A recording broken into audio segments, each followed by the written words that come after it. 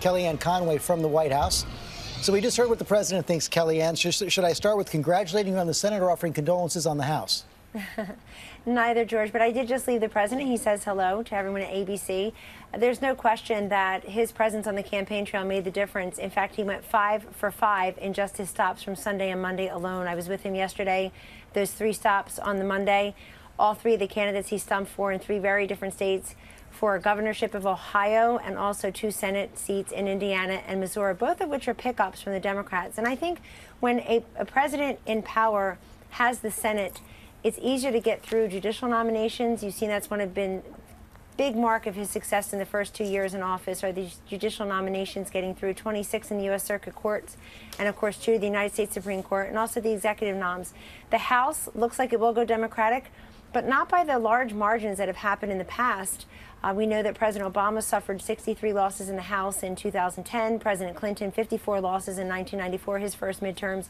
And these presidents, these two term presidents, found a way to work with the party out of power on things that matter to the country. President's... This president is prepared to do that, to work across well, the aisle. Well, that's what I wanted to ask you. That's what I wanted to ask you. But how is this going to change the way the president uh, does business? He's now got, uh, as you said, Democratic House, Republican Senate. Will he come forward with any new proposals that will try to uh, appeal to both? Well, there are a number of proposals like immigration, uh, DACA. He tried to make a deal here with the Democrats last year. That's still on the table.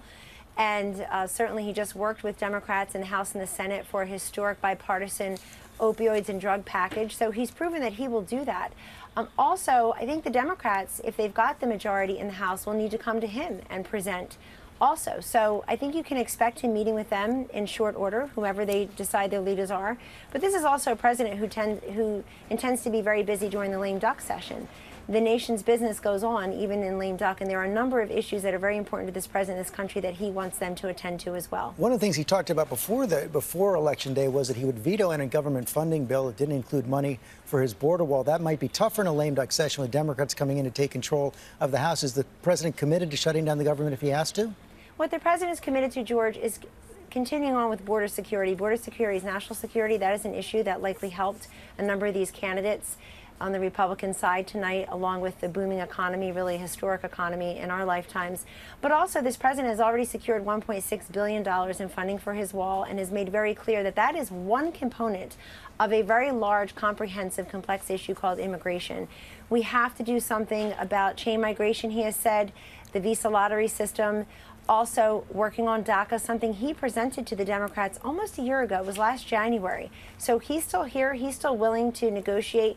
But we can't see immigration through a single lens. Some only talk about the Dreamers in DACA, others only talk about the border wall. This president is willing to tackle it in a more whole of government approach. You pointed out the president's success on the campaign trail, getting those Senate seats and some governor seats as well. And there's no question that where he campaigned, you did see that happen. Some concern among House Republican leaders that that created a backlash in those suburban House, House districts. And that's why you lost the House because of the president's rhetoric on things like immigration and border security.